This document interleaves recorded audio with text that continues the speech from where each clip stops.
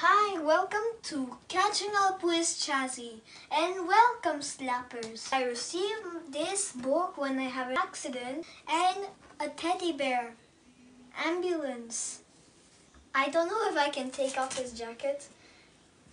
He looks like this. Ah. It's for babies. Tonight, I'm going to read this book called Baptiste et l'ambulance.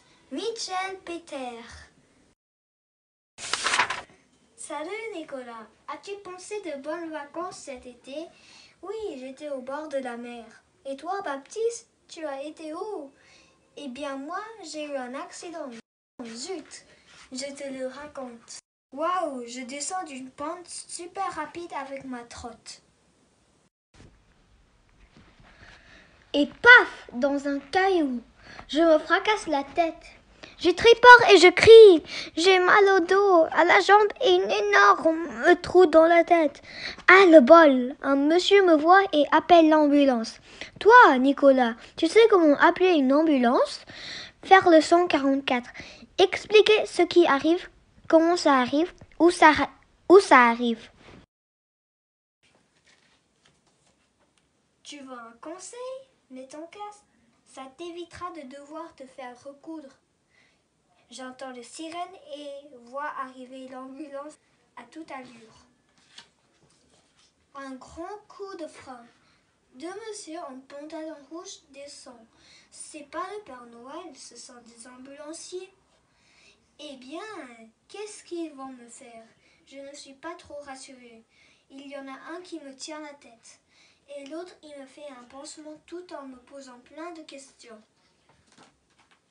Il me touche partout pour savoir où j'ai mal. Il regarde mes yeux avec une lampe. Ils me mettent une minerve autour du cou. Je me sens tout bizarre. Doucement, avec une civière, ils me portent et me mettent dans un matelas vacuum. Ils vident l'air du matelas et il devient dur comme un plâtre. Du coup, j'ai moins mal. Ça va mieux. L'ambulancier m'explique que la minerve et le matelas sont, les meilleurs moyens pour immobiliser ma colonne vertébrale et ma jambe. Ils me mettent sur le brancard et une fois dans l'ambulance. Hop, un brassard et une pincette au bout du doigt pour contrôler mon corps et mes vaisseaux sanguins. J'ai l'air d'un cosmonaute. Un masque sur le nez et la bouche comme les pilotes d'avion.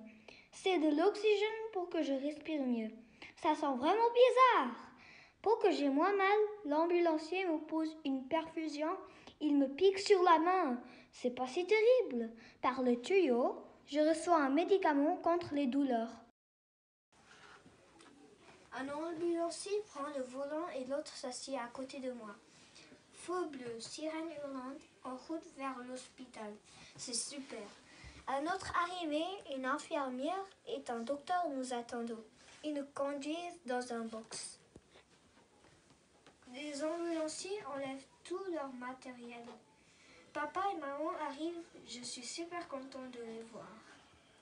L'infirmière me déshabille et le docteur m'ausculte. Je n'ose pas le bouger. Le docteur dit que j'ai beaucoup de chance car mes blessures ne sont pas graves.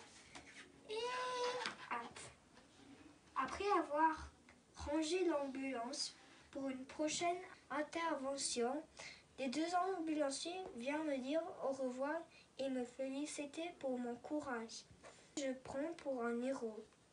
Et je dois passer une nuit à l'hôpital en observation et après je peux continuer mes vacances. Fini. Quelques conseils. Mets ton casque. Enfile tes protections. Poignets, coudes, genoux. Avant de traverser la route, regarde à gauche, regarde à droite. Arrête-toi. Écoute. Traverse sur les passages piétons. Ligne jaune. The story is all about a boy who got an accident who fell in his scooter because there was a stone and he wasn't wearing his helmet and He had pain in his legs, pain in his arms, pain everywhere in his infinite body. And luckily, there was a man who saw him. He called the ambulance. What's the number? Yes.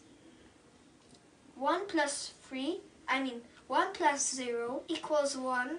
1 plus 3 equals 4. And then 1 plus 3 equals 4. That means 1 4 4. Quick math. So he called 144 because there was a little boy who had an accident. When you get injured seriously, the ambulance comes and he takes us to the hospital.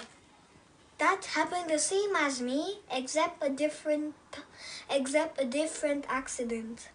He was with a trottinette. I was, I was hit by a car when I was riding my bike. Luckily, I was wearing a helmet. My bike was broken. My leg felt a little bit pain. I couldn't move. I was paralyzed. I was ah. I had pain in the head. And so much more. I didn't have enough water in my body. That was a painful day. I was very scared and confused. I didn't know what would happen to my life. I didn't know if I will die or I will survive. Luckily, I survived, all because of the grace of God. And I already have tears of joy because God saved me from accident. So, thanks for watching. Please slap like now and subscribe. And don't forget to leave a comment down below and click the bell.